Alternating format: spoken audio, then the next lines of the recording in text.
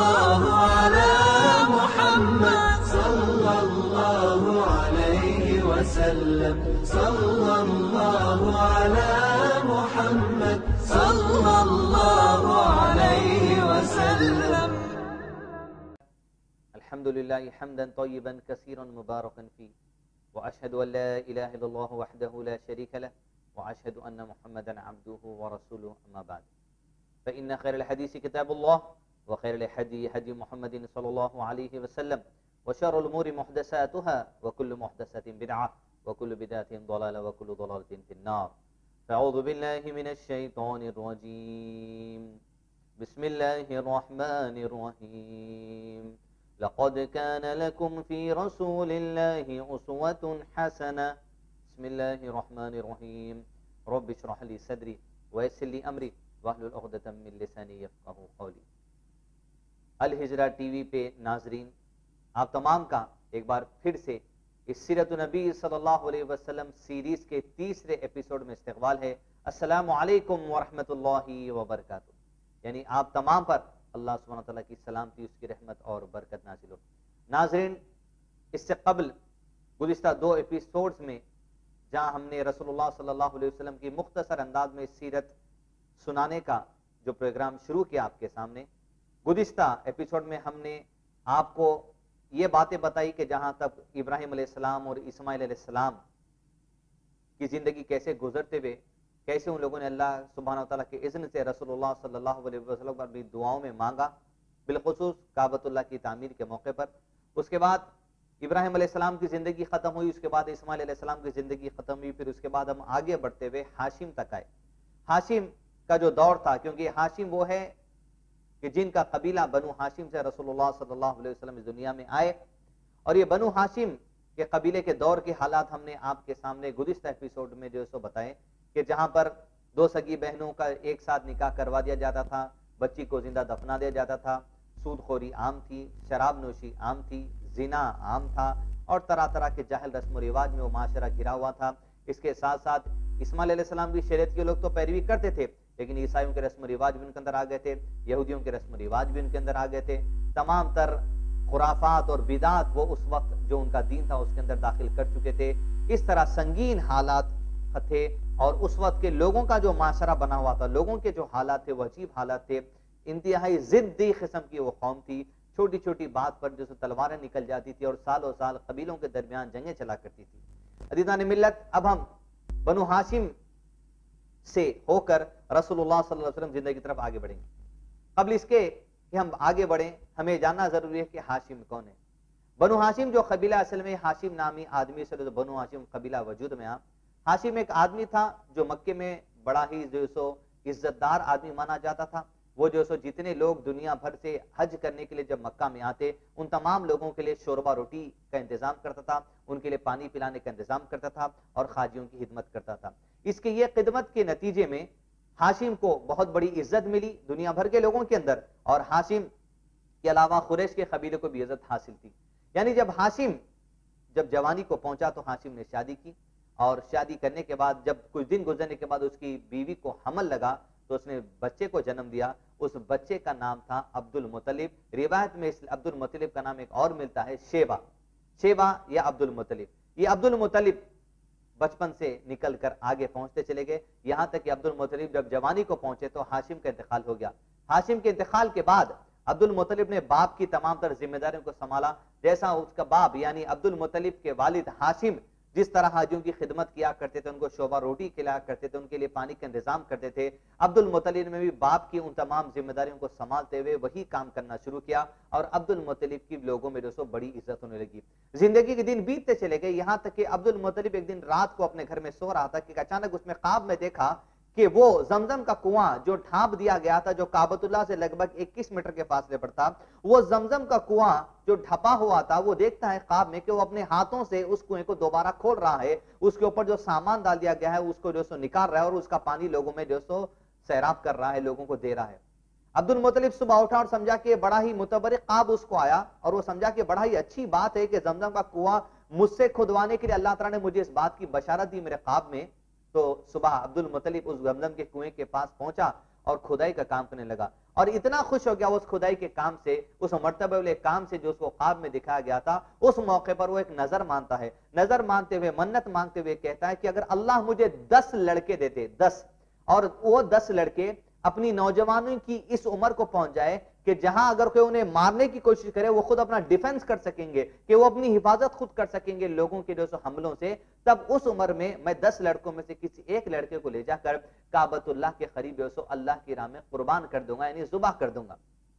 You मन्नत की, अब्दुल मुतलिब ने उसके बाद जो है सो शादी की, ज़िंदगी दिन बीतते चले गए। यहाँ तक के रिवायत में आता कि अल्लाह सुबहान ने अब्दुल मुतलिब को लगभग 11 या 13 बेटे अता किए, बहरहाल 10 बच्चे तो आ ही गए थे। ज़िंदगी दिन बीतते चले गए, यहाँ तक कि अब्दुल मुतलिब के बच्चे बड़े होते चले गए, जिसमें से एक का नाम अबू तालिब था, एक का नाम हज़रत अब्दुल्ला था, अबुल हब था, दीगर और भी बच्चे थे।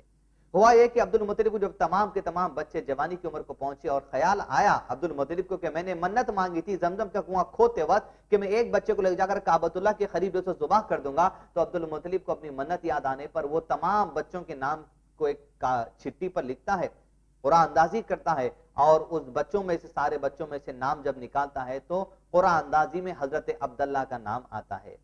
ये अब्दुल मुतलिब हकीकत में अल्लाह के रसूल सल्लल्लाहु अलैहि वसल्लम के दादा है। और हज़रत अब्दुल्ला जिसका नाम उठा कुरान अंदाजी में, वो अल्लाह के रसूल सल्लल्लाहु अलैहि वसल्लम के वालिद मोहतरम है।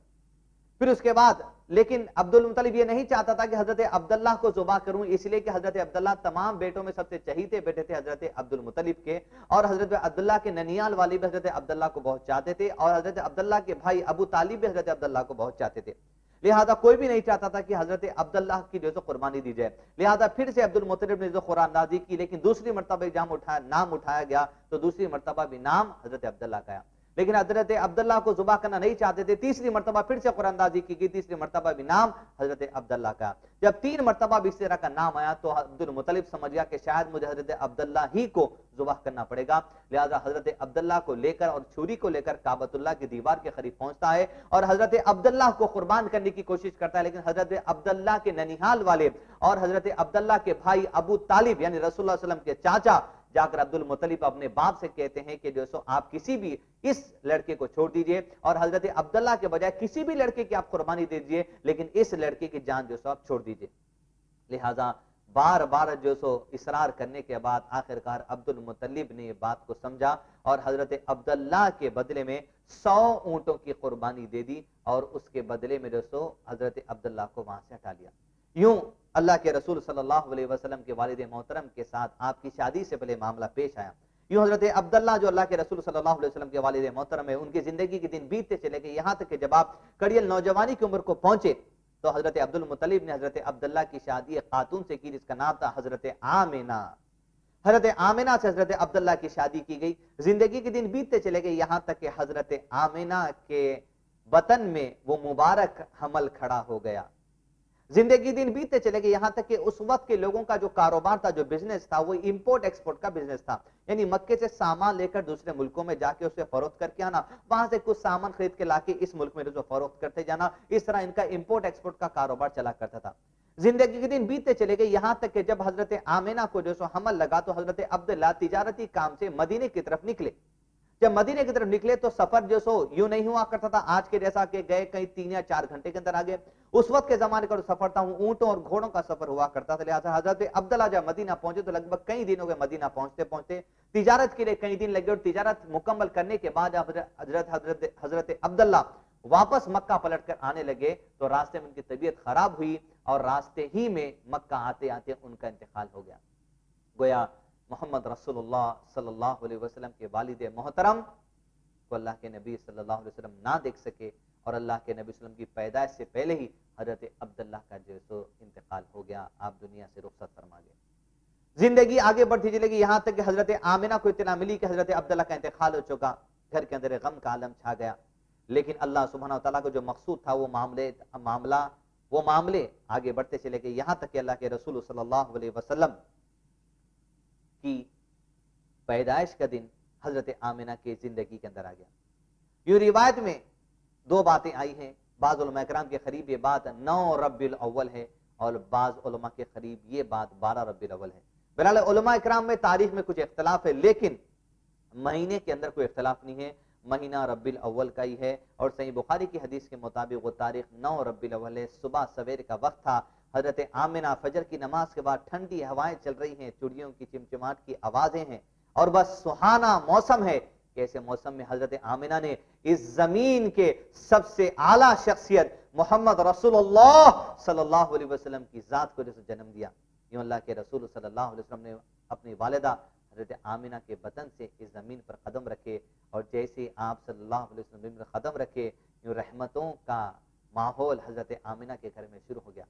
यूँ इतला सबसे पहले इस बात की, हज़रत आमिना ने अपने ससुर अब्दुल मुतलिब को पहुंचाई। अब्दुल मुतलिब को जैसे इस बात की खुशखबरी मिली कि हमारे यहाँ पोतरा पैदा हुआ है तो दौड़े दौड़े आए। इसलिए कि अब्दुल मुतलिब को बेचैनी इस बात की भी थी कि अल्लाह के रसूल सल्लल्लाहु अलैहि वसल्लम के जो वालिद मोहतरम थे, हज़रत अब्दुल्ला, वो हज़रत अब्दुल मुतलिब के बहुत चहीते बेटे थे और उनका इंतकाल हो चुका था। तो बड़ी तड़प थी कि मेरे बेटा जो इंतकाल कर गया है, उसका जो सो बेटा, यानी मोहम्मद रसूलुल्लाह हज़रत अब्दुल्ला के बेटे, अल्लाह के नबी सल्लल्लाहु अलैहि वसल्लम की पैदाइश पर बहुत बड़ी खुशी मैसर हुई हज़रत अब्दुल मुतलिब को और हज़रत अब्दुल मुतलिब गए।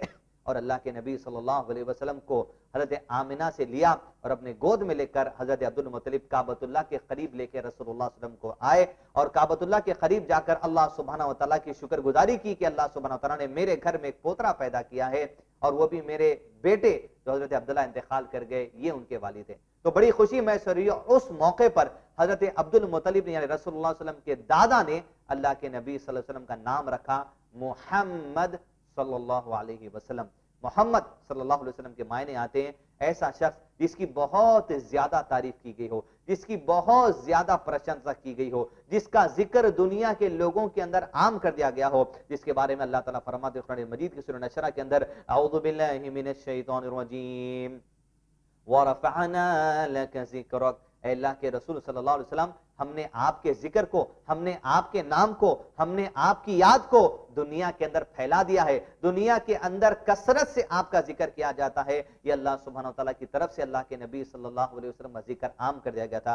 गोया इसलिए कि अल्लाह के रसूल सल्लल्लाहु अलैहि वसल्लम के बाद कोई नबी आने वाली नहीं है। गोया ये आखिरी नबी का चर्चा दुनिया भर के अंदर हर शख्स की कानों तक पहुँच जाए, ये अल्लाह सुबहान तला की ज़िम्मेदारी है। वरफाना का ज़िक्र अल्लाह ने कह दिया कि आपके ज़िक्र खैर को, आपके नाम को, आपके चर्चे को लोगों में बुलंद कर दिया गया है और जिस जिसकी कानों तक अल्लाह के रसूल सल्लल्लाहु अलैहि वसल्लम का नाम जाएगा, गोया उस तक रिसालत का पैगाम भी खुद ब खुद पहुँच जाएगा। यूँ आज दुनिया का जो ग्लोब है, ज़मीन का जो ग्लोब है, उसके ऊपर आप उंगली रख दीजिए। आपको हर जहाँ भी आप उंगली रखेंगे, हर मुकाम पर रोज़ाना पाँच मरतबा ये आवाज़ आएगी। अशहद मोहम्मद और रसूलुल्लाह, अशहद मोहम्मद और रसूलुल्लाह सल्लल्लाहु अलैहि वसल्लम, सल्लल्लाहु अलैहि वसल्लम। कोई अल्लाह के रसूल सल्लल्लाहु अलैहि वसल्लम की रिसालत का पैगाम दुनिया भर के अंदर चाहे जो भी मज़हब व मसलक का मानने वाला आदमी हो, रोज़ाना पाँच वक्त की अजा के ज़रिए दस मरतबा आपकी रिसालत का पैगाम दुनिया के तमाम लोगों के सामने आम किया जाता है। गोया मैं समझता हूँ, गोया दुनिया के अंदर कोई ऐसा शख्स नहीं होगा जिसने रसूलुल्लाह सल्लल्लाहु अलैहि वसल्लम रिसालत का पैगाम नहीं सुना हो। शायद कोई शख्स ऐसा नहीं है दुनिया में जो बगैर रसूलुल्लाह सल्लल्लाहु अलैहि वसल्लम रिसालत का पैगाम सुने के दुनिया से रुखसत हो जाए। चाहे अजान के ज़रिए या किताबों के ज़रिए कुरान के ज़रिए या लेक्चर के ज़रिए पैगाम के ज़रिए किताब के ज़रिए, किसी भी ज़रिए इनशाला इस बात की उम्मीद है हमें कि अल्लाह सुबहाना तला ने हर एक तक शायद दीन इस्लाम का पैगाम, रसूल सनत का पैगाम पहुँचा दिया है और अल्लाह ज़रूर ज़रूर पहुँचा कर रहेगा। इसलिए कि अल्लाह ताला फरमाते कुरान मजीद के अंदर, वल्लाहु मुतिम नूरी वलो करीहल काफिरून अल्लाह अपने नूर को इस दीन इस्लाम को दुनिया में गालिब कर कर रहेगा। खा काफिर हो या मुशरिक, उनको कितना ही बुरा ही लगे। एयरटेल कम्युनिकेशन कंपनी जो आमतौर पर हिंदुस्तान में बहुत मशहूर है, इसका एक सर्विस है जो फैक्स के नाम से आता है। इस फैक्स में एक मरतबा दोस्तों, मुझे एस एम ऐसा उसमें कहा गया कि आज दुनिया के अंदर सबसे ज़्यादा जो नाम लोग रखते हैं, वो मोहम्मद रखते हैं। गोया नाम के आगे मोहम्मद जो लगाया जाता है, इसका मतलब ये नहीं कि वो मोहम्मद लेकिन उस मोहम्मद के नाम से भी उस रसूल की याद आ जाती है। जो हमारे नबी है सल्लल्लाहु अलैहि वसल्लम। गोया किसी भी गैर मुस्लिम भाई के सामने, हिंदू भाई के सामने, ईसाई भाई के सामने, जब आप कहेंगे कि मेरा नाम फला मोहम्मद अफजल है या फला मोहम्मद जो सो साहब है तो फौरी उनके जहन में ये बात है कि अच्छा आपके नाम से पहले वो मोहम्मद है जो आपके नबी भी मोहम्मद हुआ करते थे। तो गोया अल्लाह सुबहाना तआला एक मुसलमान के नाम के ज़रिए भी दीगर तमाम गैर मुस्लिम तो दीन इस्लाम का जो सो पैगाम पहुँचा रहे हैं, वो अल्लाह के रसूल सल्लल्लाहु अलैहि वसल्लम का जो चर्चा है, वो बुलंद कर दिया गया है। इस तरह अल्लाह सुबहाना तआला खुद फरमाते कुरान मजीद के अंदर, जालिका मसलहुम फ़ी तौरात वल इंजील, कि अल्लाह के रसूल सल्लल्लाहु अलैहि वसल्लम और सहाबा की जो सिफात है, वो तौरात और इंजील में बयान कर दी गई है। तो इस तरह मौजूदा दौर की भी जो हिंदू मज़हब की किताबें हैं बाज अहल कहते हैं कि इन्हीं हिंदू मज़हब की किताबों में रसोल्ला वसल्लम का नाम जो सो मौजूद है आपका ज़िक्र मौजूद है। जैसा कि नरशंसा नाम आता है नरशंसा ने ऐसा शख्स जिसकी बहुत ज़्यादा प्रशंसा कर दी गई है। अहल इल्म का यह कहना है कि नरशंसा से मुराद शायद बशायद रसोल्ला अलैहि हो सकते हैं। इसलिए कि अल्लाह के नबी वो शख्स हैं ज़मीन पर जिसका चर्चा खैर, जिसके जो सो खैर की बात बुलंद कर दी गई लोगों के अंदर। ने मिलत अल्लाह के रसूल सल्लल्लाहु अलैहि वसल्लम इस दुनिया के अंदर तशरीफ़ लेकर आए और बचपन की ज़िंदगी अल्लाह के नबी सल्लल्लाहु अलैहि वसल्लम की आगाज़ हुई। नाजरीन, जैसा कि हमने आपसे पहले कहा था कि इस सीरत नबी सल्लल्लाहु अलैहि वसल्लम के तमाम सीरीज़ में हम आपको रसूलुल्लाह वसल्लम की मुकम्मल ज़िंदगी चार हिस्सों में बयान कर बताएँगे। इसमें सबसे पहला हिस्सा ये होगा कि अल्लाह के नबी सल्लल्लाहु अलैहि वसल्लम दुनिया में आने से पहले के हालात। यहाँ पर वो पहला हिस्सा अख्ताम को पहुँच चुका है। दूसरा हिस्सा जो है, वो है रसूलुल्लाह सल्लल्लाहु अलैहि वसल्लम की पैदाइश से लेकर आप सल्लल्लाहु अलैहि वसल्लम की 40 साल ज़िंदगी तक के हालात इंशाल्लाह हम आपके सामने रखेंगे। अब इंशाल्लाह यहाँ से दूसरा हिस्सा शुरू होता है। दूसरा हिस्सा यानी मोहम्मद रसूलुल्लाह सल्लल्लाहु अलैहि वसल्लम की बचपन से लेके आपकी नबुवत से पहले की ज़िंदगी, यानी 40 साल की ज़िंदगी तक। यूँ नाजरीन इकराम, सबसे कबल इसके कि मैं दूसरे सेशन का आगाज़ करूँ। आपको पहली हिस्से की सरसरी तौर पे बात रख दूँ कि दीन इस्लाम जो उस वक्त इस्माइल सलाम के ज़रिए भेजा गया था, मक्के के जो लोग थे, अरब के जो लोग थे वो इस्माइल सलाम की तबलीग के नतीजे में इस्माइल सलाम की दीन की पैरवी क्या करते थे? यहाँ तक कि वो दीन की पैरवी करते थे, उस दिन में हज भी करते थे, उमरा भी करते थे, तवाफ भी करते थे, लेकिन उसके साथ साथ उनके बड़े आलिम अमर बिन लोही ने जब मुल्क शाम जाकर हबल नामी बुद्ध उठा करके लाया और लाकर काबतुल्ला के करीब रख दिया और लोगों को अल्लाह की इबादत के साथ साथ इस हबल बुद्ध की भी पूजा का जो हुक्म दिया, लोग उसकी बात मान लिए। यहाँ से इस्माइल सलाम की शरीयत की जो लोग पैरवी करते थे, उनके अंदर शिरक भी दाखिल हो गया। उसके साथ साथ ईसाइयों के रस्म रिवाज उनके अंदर आ गए, यहूदियों के रस्म रिवाज उनके अंदर आ गए जाहिल रस्म रिवाज उनके अंदर आ गए, शादियों के जाहिल तरीके उनके अंदर आ गए, बच्चियों को दफना देकर तरीका उनके अंदर आ गया था। दो सगी बहनों को एट ए टाइम एक आदमी की निगाह में रखने का उनके अंदर तरीका आ गया था। औरत को खुद मुख्तारी हासिल थी, औरत खरीदी जाती थी, औरत बेची जाती थी, उनके पास सूद जो सो आम था, शराब नोची आम थी, जीना आम हो चुका था। इस तरह मुकम्मल तौर पे तबाह कुन हालात थे। उस हालात का सामना करने के लिए, उस हालात में खैर की झंडे को सर बुलंद करने के लिए, खैर की बात को सर बुलंद करने के लिए मोहम्मद रसूलुल्लाह सल्लल्लाहु अलैहि वसल्लम के शख्सियत को अल्लाह सुब्हानहू तआला नबी बनाकर माबूस करने वाले, यहाँ तक कि दूसरे सेशन में हम दाखिल होते हैं। सीरत नबी सल्लल्लाहु अलैहि वसल्लम की सीरीज़ में कि अल्लाह के नबी सल्लल्लाहु अलैहि वसल्लम के बचपन का आगाज़ हुआ। अदीदा ने मिलत अल्लाह के रसूल सल्लल्लाहु अलैहि वसल्लम के बचपन के आगाज़ जैसे हुआ। ज़िंदगी के दिन शुरू हो गए, बीतते हुए एक दो दिन गुजरते चले गए। यहाँ तक के अरब के लोगों का दस्तूर था रिवाज था कि जब बच्चे जब पैदा होते तो वो अपने बच्चों को दूध पिला कर कुछ दिन माए बाकी दूध पिलाने के लिए कुछ दाइया के हवाले क्या करती थी, जो दूध पिलाने का काम करती थी। इसमें एक कबीला था, जिस कबीले का नाम था बनी साद। बनी साद की औरतें हैं जो छोटे बच्चों को दो साल तक दूध पिलाने का काम करती थी। उसके बदले में बच्चों के वालदेन से वो कुछ मुआवजा ले लिया करते थे, कुछ पैसे या जो उस वक्त की जो कुछ भी करेंसी थी, वो ले लिया करते थे। हुआ ये ये किया इसलिए जाता, दो वजूहत से अहले इल्म इस बात को लिखा है पहली वजह यह है कि ताकि बच्चे शहर की आबो हवा से बचे रहकर देहातों की आबो हवा में चले जाएँ। इसलिए कि बनी साद का जो कबीला था, वो देहात में रहा करता था और मक्का जो था, उस वक्त का एक शहर था। दूसरी वजह एक कही कराम ने इस बारे में कि जो सो बच्चों को देहात इसलिए भेजा जाता ताकि उनकी जो जबान है, अरबी जबान, वो अरबी जबान, फसी अरबी जबान, वो सीख जाए। इसलिए उन्हें शहर से जो सो देहातों की तरफ़ भेजा जाता था। पहली वजह सही अच्छी फसी जबान होने के लिए उनकी अरबी और दूसरी वजह है कि शहर की आबोहवा से बचे रहकर देहातों की आबोहवा में चले आए। जैसे हम भी इस बात से वाकिफ हैं कि शहर हैदराबाद, जो हमारा या कोई भी शहर हो, मेट्रो सिटी या जो मेन सिटी शहर कर, जहाँ आप देहातों में चले जाते हैं, गाँव में चले जाते हैं, वहाँ की आबोहवा, वहाँ की सेहत का मामला लोगों के, कुछ और ही हता है, बनिस्बत शहर के लोगों के। यूँ नाजरन इकराम, अल्लाह के रसूल वसल्लम बचपन शुरू हुआ और दूध पिलाने के लिए अल्लाह के नबी सल्लल्लाहु अलैहि वसल्लम को मक्के में उस मुकाम पर ले जाकर अब्दुल मुतलिब हज़रत आमिना खड़े हो गई, अब्दुल मुतलिब खड़े हो गए, जहाँ पर बनी सात की औरतें आ करती थी। हुआ एक मक्के से बहुत दूर के इलाके पर बनी सात का कबीला था। बनी सात की औरतें कई औरतें अपने बच्चों और अपने शोहरों के साथ अपनी सवारियों, ऊंटों पर या गधियों पर उस की जमाने की बैठकर मक्के की तरफ़ आए और मक्के के उस बाज़ार में आए जहाँ पर लोग बच्चों को लेकर खड़ा करते थे। वो लोग जब आए, ये देखने के लिए कि बेटे किसी भी तरह कुछ बच्चों को ले लिया जाए, दो साल दूध पिलाएँगे एग्रीमेंट होगा और मुआवजा जो भी मिलेगा, उससे हमारी ज़िंदगी गुजर बसर होगा। यूँ बनी सात की कई औरतें अपने घरों से निकली। उस औरतों में एक खातून का नाम था हज़रत हलीमा। ये हज़रत हलीमा अपनी दुबली सुस्त ऊंटनी पर बैठकर, जिसके साथ उनके शौहर भी थे, और छोटा सा बच्चा हज़रत हलीमा का उनके साथ था, जो मासूम था, अभी दूध पीते की उम्र को था, लेकिन उस वक्त इस तरह का खैर साली का आलम था कि हज़रत हलीमा के सीने में अपने मासूम छोटे से दूध पीते बच्चे को दूध पिलाने के लिए उनके सीने में दूध नहीं था। लिहाजा वो बच्चा रोता हुआ अपनी वालिदा के साथ ऊँटनी पर बैठकर मक्के का सफ़र करता हुआ मक्के की तरफ़ आए। उनके साथ बड़ी सुस्त ऊँटनी थी और उनके शोहर भी थे। और साथ में जितनी भी बनी साथ की औरतें थी जो हज़रत हलीमा के साथ थी, उनकी ऊँटनियाँ, उनकी गधी जो भी उस वक्त हुआ करती थी, सवारी उनकी, वो हज़रत हलीमा से बहुत तेज जाया करती थी।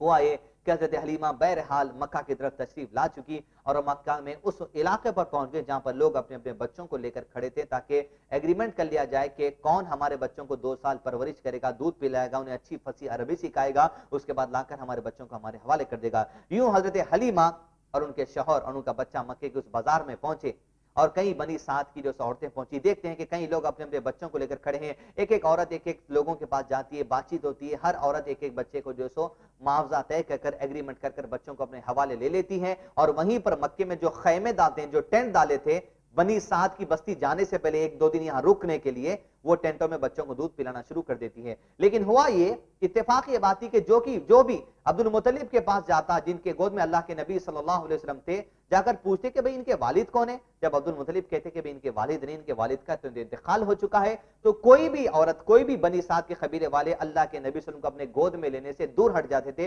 ये सोच के भाई जब इनके वालिद मोहतरम नहीं है तो हमें कौन मुआवजा देगा? आप तो दादा है, आप तो वैसा नहीं दे सकते। अगर वालिद होता तो कुछ और ही बात होती।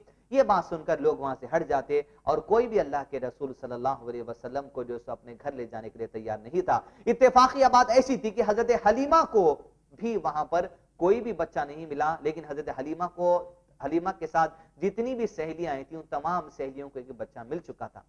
हज़रत हलीमा और हज़रत हलीमा के शोहर ने आपस में मशरा किया, देखो हम इतनी दूर का सफ़र कर कर आए हैं, सफ़र का, ये आने का जो हमारा मामला है, ये कहीं जो सो बेकार ना हो जाए, लिहाजा कहीं ऐसा ना काम कर लें। ये जो एक बच्चा बचा है, जिसको मोहम्मद वसल्लम के नाम से लोग कह रहे हैं क्यों ना हम वही बच्चे को ले लें? खाम खा जो सो फिर इतनी दूर आकर वापस खाली हाथ जाने से बेहतर है कि इसी बच्चे को ले लें। हज़रत हलीमा और उनके शोहर ने जब आपस में मशरा किया तो हज़रत हलीमा और उनके शोहर एग्री हो गए इस बात पर, राज़ी हो गए, चलो इसी बच्चे को ले लें। अब्दुल मुतलीब के पास गए, हज़रत आमिना के पास गए, कहा कि दो साल तक आपके बच्चे को दूध पिलाएँगे, उसके बाद लाकर आपके बच्चे को छोड़ देंगे। एग्रीमेंट वो जो भी जबान करने की एग्रीमेंट थी या पेपर वर्क था या जो कुछ भी जबान वाली बात थी, उस जमाने की बात तय हो चुकी एग्रीमेंट तय हो चुका। उसके बाद यूँ हज़रत आमिना ने अपने गोद को अपने हाथों में रसुल्लाम को लेकर हज़रत हलीमा की तरफ़ जू ही अल्लाह के नबी वसल्लम को बढ़ाया। यूँ हज़रत हलीमा ने जू ही अपने हाथों को हज़रत आमिना की तरफ़ बढ़ाया और जू ही हज़रत आमिना ने मोहम्मद रसूलुल्लाह सल्लल्लाहु अलैहि को जो मासूम छोटे से उस वक्त थे, जैसे हज़रत हलीमा के गोद में दे दिया, उसी वक्त था जो हज़रत हलीमा की ज़िंदगी में रहमतों और बरकतों का माहौल शुरू हो गया। ये मोहम्मद रसूलुल्लाह वसल्लम की ज़िंदगी के अंदर जो अल्लाह सुबहाना तआला ने बचपन ही से मौजेजे रखे थे, वो मौजेजात का दौर हज़रत हलीमा की ज़िंदगी में आगाज़ हो चुका था। यूँ हज़रत हलीमा ने जैसे अल्लाह के नबी वसल्लम को अपने गोद में लिया और जो मक्के में जहाँ कैंप डाले थे, जहाँ टेंट डाले थे, उस टेंट में ले गए और वो हज़रत हलीमा जिसके सीने में अपने छोटे से बच्चे को दूध पिलाने के लिए दूध नहीं था लेकिन वही हज़रत हलीमा जब अपने कैम्प में जाकर मक्के के अंदर अल्लाह के रसूल सल्लल्लाहु अलैहि वसल्लम के सामने अपने सीने को खोलती है तो हज़रत हलीमा देखती है कि उसके सीने में खूब दूध भर आया। अल्लाह सुबहाना तरफ़ से ये पहला मौजजा था अल्लाह के रसूल सल्लल्लाहु अलैहि वसल्लम की ज़िंदगी में। यूँ अल्लाह के रसूल सल्लल्लाहु अलैहि वसल्लम खूब सैर होकर हज़रत हलीमा से दूध पिए और दूध पीने के बाद हज़रत हलीमा ने फिर वही दूध अपने सीने को अपने बेटे की तरफ़ दिया और हज़रत हलीमा का छोटा बेटा भी जो हलीमा का दूध पिया, यूँ अल्लाह के नबी सल्लल्लाहु अलैहि वसल्लम के साथ बचपन ही में रजाई भाई बन गए हज़रत हलीमा के बेटे। वहीं पर दूध शरीक भाई बन गए अल्लाह के नबी वसल्लम और हज़रत हलीमा के बेटे। हज़रत हलीमा परेशान थी, आखिर ये कौन सा अजीब मामला मेरे साथ हो चुका है कि हम जब आ रहे थे तो हमारे साथ कुछ भी दूध नहीं था, हमारा बच्चा रोते हुआ। लेकिन जब मैं यहाँ पर आ गई, इस बच्चे को मामला दी तो दूध पीता जला गया खूब सैर होकर। यहाँ तक कि एक या दो दिन के बाद हज़रत हलीमा अपने कैंप वगैरह को सब बंद कर कर, जब बनी सात की असल उनके देहात की तरफ़ निकली मक्का छोड़कर तो वो हज़रत हलीमा जो दुबली पतली सुस्त ऊंटनी पर बैठकर जो मक्का की तरफ़ आई थी, वो हलीमा जब अपने गोद में अल्लाह के नबी वसल्लम को ले ली और हलीमा के शोहर भी जो सो उस ऊंटनी पर बैठ गए और वो ऊंटनी जो जब मक्का आई थी कुछ दिन पहले तो सुस्ती के आलम में आती थी, स्लो चलते हुए आती थी। लेकिन अब ये आलम है कि जब रसूलुल्लाह सल्लल्लाहु अलैहि उस ऊंटनी पर सवार हो गए, हलीमा परेशान है, वो ऊंटनी बड़ी तेज़ी से जो सो दौड़ लगाते हुए आगे बढ़ती चली गई। यहाँ तक जब हज़रत हलीमा की सहेलियों ने देखा कि हलीमा पूछा क्या ये वही ऊंटनी है जिसके ऊपर बैठकर तू मक्का आई थी? हमें तो नहीं महसूस होता। हलीमा, जरा थोड़ा हल्लू चलना। अरे, हलीमा, हम पर रहम तो कर। क्या है, वही उठनी है जिसके ऊपर तू बैठकर मक्का आई थी? हलीमा कहती हाँ हाँ ये वही उठनी है जिसके ऊपर बैठकर मैं तुम्हारे साथ मक्का आई थी। पता नहीं अजीब अजीब मामला मेरी ज़िंदगी में हो रहे हैं। शायद मुझे ऐसा लगता है कि अल्लाह ने हमारे हवाले एक पाक रूह कर दिया है। हज़रत हलीमा का शौर कहता है, हलीमा, मुझे भी ऐसा महसूस होता है कि शायद अल्लाह सुबहाना तला ने एक पाक रूह को हमारे हवाले कर दिया। यूँ अल्लाह के रसूल सल्लल्लाहु की ज़िंदगी के अंदर बचपन ही से अल्लाह सुबहान ने मौजात का सिलसिला शुरू कर दिया था और ये रहमतों और बरकतों का माहौल बटोरने की सादत जो सबसे पहले नसीब हुई, वो हज़रत हलीमा को नसीब हुई। यूँ हज़रत हलीमा अल्लाह के रसूल सल्लल्लाहु अलैहि वसल्लम को लेकर अपने घर के अंदर दाखिल हुए। वो अल्लाह के नबी वसल्लम का बचपन बनी साद की बस्ती में शुरू हुआ। बरकतों का माहौल, रहमतों का माहौल। आखिर हलीमा के अंदर क्या हुआ? वो बचपन का खेल कूद वो बचपन की जो सो मासूमियत मोहम्मद रसूलुल्लाह सल्लल्लाहु अलैहि वसल्लम की, वो प्यारे प्यारे आपके जो सो अंदाज, आपके काम, आपके कारनामे, बचपन ही से जो सो मासूमियत, वो तमाम चीज़ें इंशाल्लाह हम आपको मजीद आने वाले एपिसोड्स में बताएँगे। अजीजा ने मिलत नाजरन इकराम, हम आज के एपिसोड को यहीं पर अख्ताम करते हैं कि अल्लाह के नबी सल्लल्लाहु अलैहि वसल्लम का बचपन का आगाज़ हो चुका है और अल्लाह के नबी सल्लल्लाहु अलैहि वसल्लम अपनी वालदा से पास से हटकर हज़रत हलीमा के पास जो सो परवरिश पाने के लिए दो साल के एग्रीमेंट से गए हैं। ये दो साल के अंदर क्या मामला होते हैं? मजीद बचपन किस तरह गुजरता है? कैसे वो रहमतों के माहौल थे? जरा तमाम बातें चलाने वाले एपिसोड में हम देखेंगे। हमारे साथ बने रहिए इसी नबी सल्लल्लाहु अलैहि वसल्लम सीरीज़ में अल हिजरा टीवी चैनल पर। अस्सलाम वालेकुम वरहमतुल्लाहि वबरकातुहू।